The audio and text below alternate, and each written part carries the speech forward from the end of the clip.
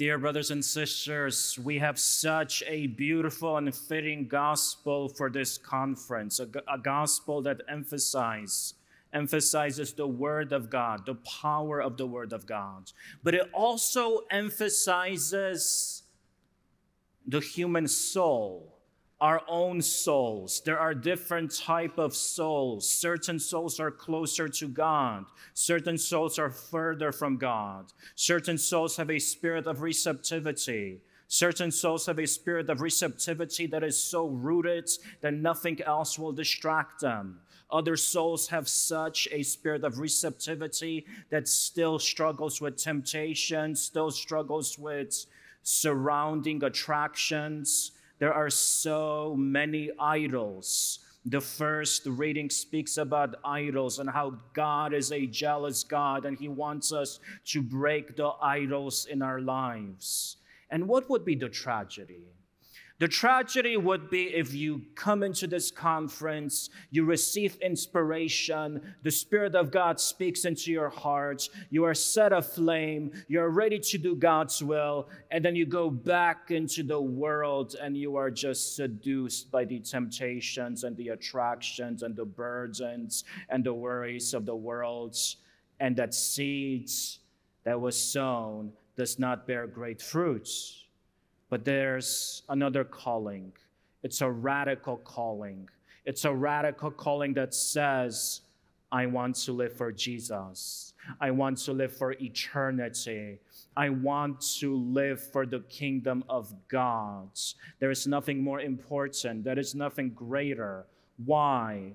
Because you, beloved soul, you, beloved soul, have a chance to enter eternity in heaven, experience eternal bliss. There is a room reserved for you. You have a chance because he shed his blood on the cross. You have a chance because he gave his life for you. He was tortured, humiliated, mortified, humiliated, tortured in front of his mother, abandoned and abandoned and betrayed by his apostles. And for you, he endured it all. And what he is asking of you, dear soul, is return love with love. Respond to my love with your love. This is so important. It is also so important, as today's gospel emphasizes, to be rooted. Notice how the gospel says the seed sown on rocky ground is, is the one who hears the words and receives it at once with joy, but he has no roots and lasts only for a time. It is important to be rooted. To be rooted. Every single one of us is rooted differently. Every single one of us has a different experience, a different past. But part of the rootedness is going back to the first love. How did you encounter Jesus the first time in the most deepest way? How did you encounter Our Lady the first time in the deepest way? How did that first love stir your, your soul? What was the experience? Whenever I have the opportunity, the privilege of giving a retreat for, for Dr. Hahn and the St. Paul Center, I usually share this story because it speaks about the importance of both rootedness, but also the work of the St. Paul Center. I shared the experience of when I was in graduate school, I did a master's at Yale Divinity School. And I remember there was one class that was being taught that was called Historical Jesus. So I was really looking forward to take this class naively, I was thinking to myself, this class is going to help me understand the historicity of the Bible, the historicity of the Gospels, how I can support the historicity of the life of Jesus. But little did I know that the enemy has invaded the Ivy Leagues. Little did I know that when you go to Harvard and Yale and Divinity, and I heard Duke too, although that's not an Ivy technically, little did I know that the scholarship and the teaching will often be so reductionistic. Reductionistic, turning Jesus just into a man. In that historical Jesus class, the professor who was a Catholic, who attended Mass with us, she, she gave this whole uh, presentation in class that Jesus' miracles probably were not real.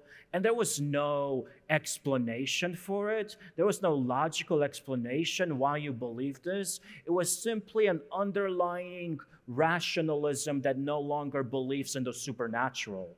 It was an underlying rationalism that no longer believes in the divinity and the supernatural truths of Christ and our sacred faith. And the questions that were being asked in that class were questions like what language would Jesus have known? What languages would he have spoken? And I'm thinking to myself, he is the pre existent eternal words. He created language. Every language that we speak comes from Him. He is the creator of all that is. What kind of ridiculous question are you going to ask me here in this Ivy League class?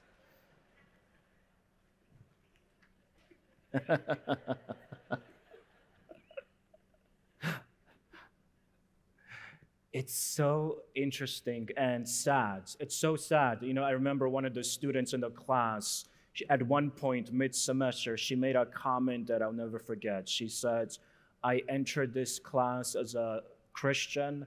I don't really know what I am anymore. And that was tragic. That was absolutely tragic.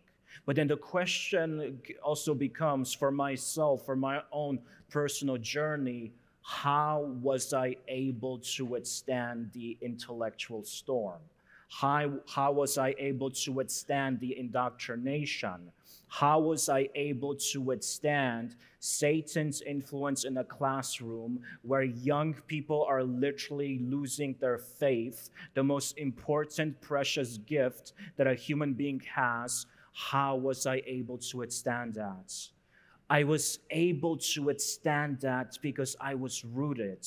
My own rootedness came from a deep love for the Mother of Gods and also a deep love for the Christian mystical tradition. I knew that we have a supernatural faith. I knew that we have a faith of miracles, so many miracles, so many healing miracles at Lourdes, so many Eucharistic miracles, so many Marian apparitions. I knew that the conversions happen in places like Lourdes, Fatima, Medjugorje, Kibeho. I knew that the Mother of God has been appearing for centuries.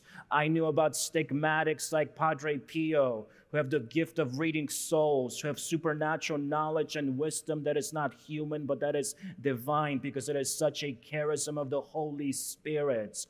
I knew that the supernatural is real. I knew that the miraculous is real. The Catholic Church literally, literally has a has an office in the Roman Curia, the Congregation for the Causes of Saints, that medically and scientifically investigates miraculous healings. And there have been so many healings that have baffled baffled scientists, including scientists and doctors who are not Catholic, but they need to acknowledge something happened here. So I knew about that because those realities, those realities, the realities of a Padre Pio, the realities of Our Lady's apparitions, the realities of Eucharistic miracles and miraculous healings, those realities speak to us about the fact that Jesus Christ is alive and still acts today. He is alive and he acts in his supernatural power because those miracles, they are not able to happen because of any natural word, any natural cure. This is the divine power of God. This is real. Jesus is real. The miracles of the 21st century and the 20th century show us that the miracles of Christ in the fir- in first century Palestine are a burning reality, burning reality. He is real, he is divine. And knowing that, coming from that foundation, I knew the Bible is sacred. I knew the Bible is more than what a reductionistic Ivy League scholar will tell me.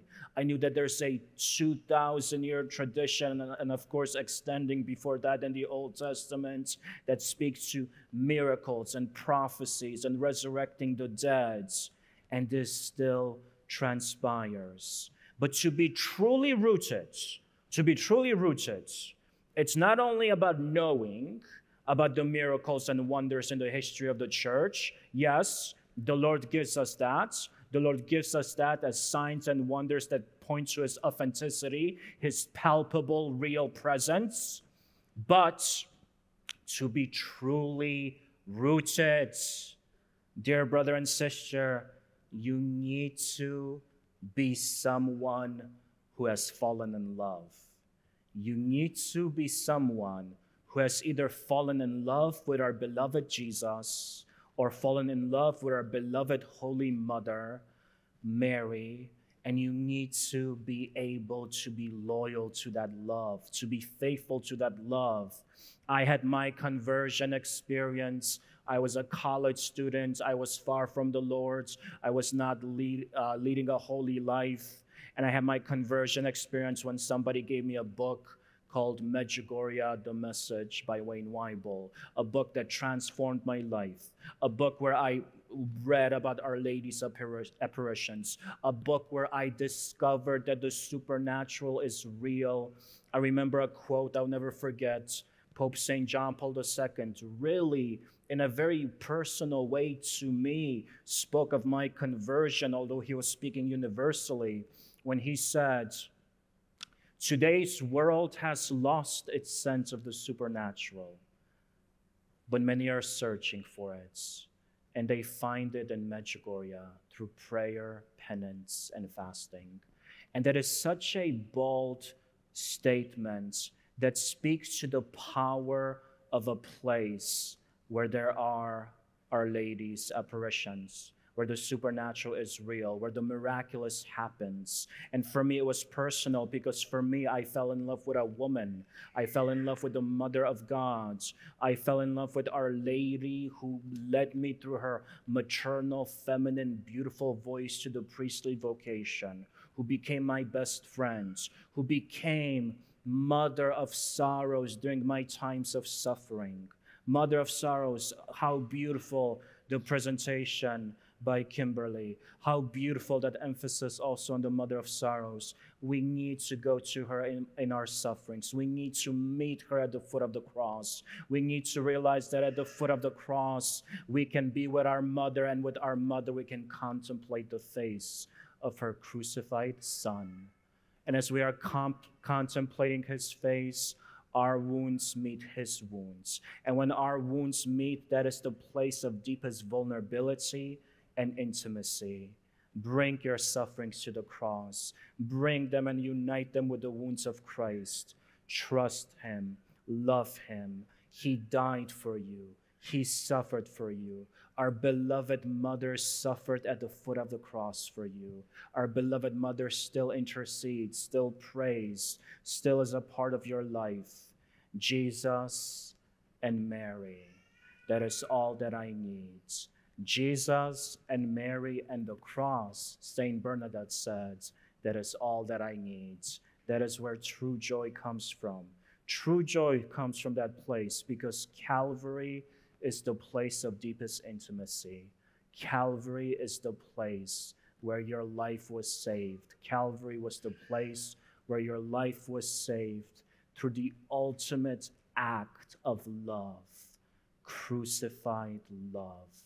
Let us never forget what he did for us. Let us always honor him. Not only is he supernatural, not only is he divine, not only is the word of God the sacred truth, but he is also intimately, personally your beloveds, the beloved of your soul who gave his life so that you may have eternal life.